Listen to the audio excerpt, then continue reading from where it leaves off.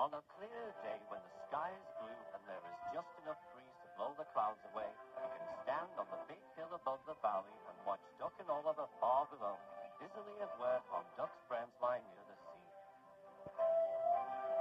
The two Indians were very proud of their matching coats of gleaming color. Oliver often talks about the time that Douglas saved him from Scrap. If it wasn't for his help,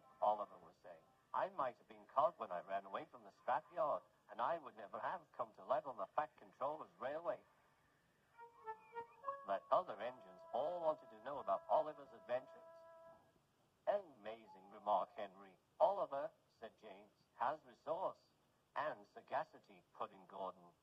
What does that mean? whispered Percy. I think, replied Thomas, it's about being clever and wise. He is, finished Gordon, an example to us all. I'm sorry to say that Oliver became very puffed up in his smoke box.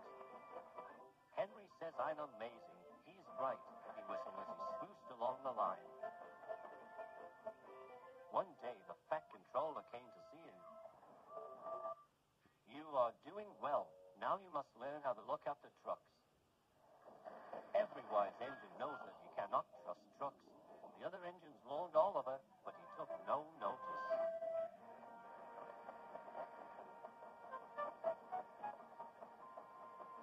You think I can't manage, he said huffily. Gordon knows better. He says I'm sagacious. You may be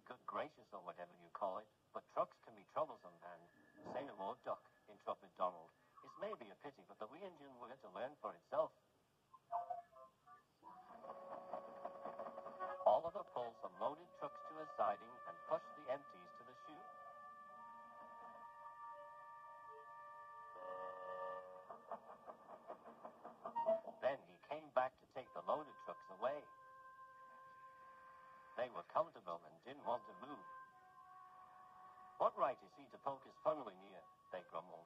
We want Duck, or Donald, or Douglas. Look sharp, huffed Oliver. That's not the way to speak, hissed the trucks. We'll pay him out. Oliver heard nothing. The trucks moved smoothly at first, then suddenly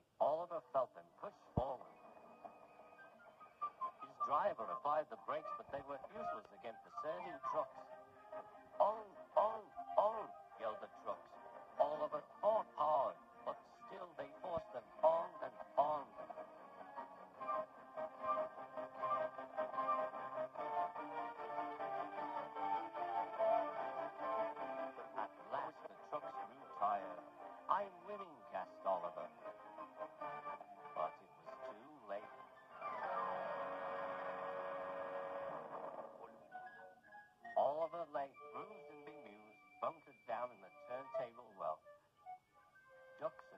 damage. Hello, Oliver. Are you being a good gracious engine?